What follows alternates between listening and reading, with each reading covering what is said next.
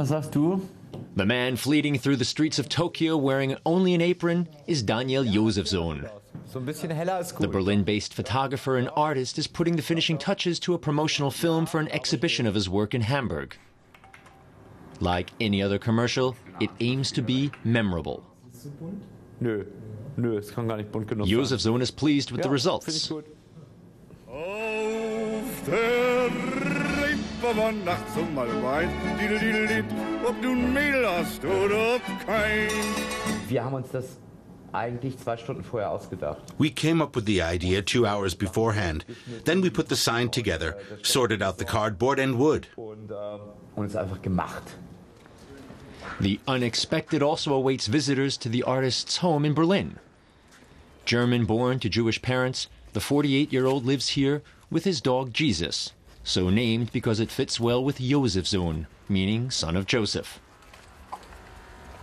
Religion and its political consequences belong to the artist's main themes. One of his ideas is called Muzzle Boo Ju Christ Hindao. It's a faith fragrance held in concrete casing. The title is made up of the first syllables of the world's major religions. He chose the unconventional materials for specific reasons. Warum dieses Material? Wir haben Beton genommen, weil es We chose concrete because it's a very heavy topic. Mazel Bud Jew Christin Dao, getting to the essence of each other, that was the big idea behind it. eigentlich die große Idee dahinter.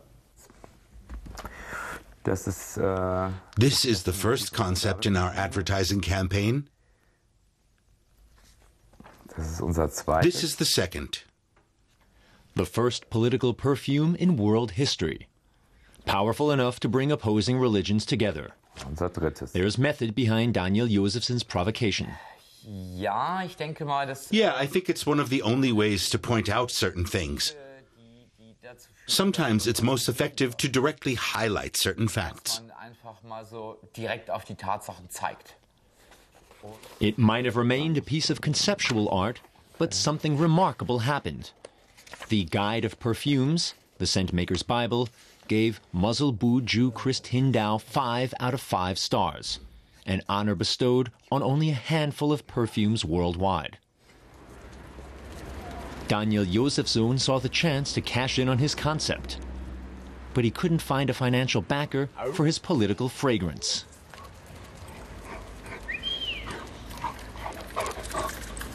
The industry wasn't really into the idea. They prefer to sell pure, happy, we love ourselves products. We weren't able to offer them that. aber nicht bieten können.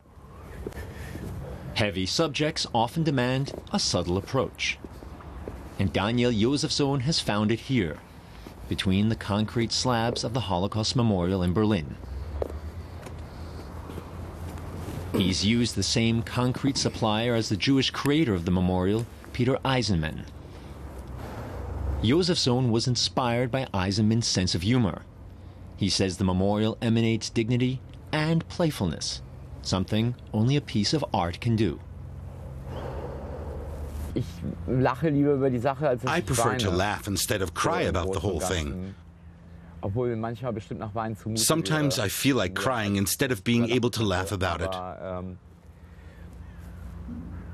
Um, Aber, But a day without laughing is a bad day. Auf der Reeperbahn Daniel Josefsohn might not make it rich as a perfume maker, but with humor and self deprecation, he plans to stay on the scent of world peace.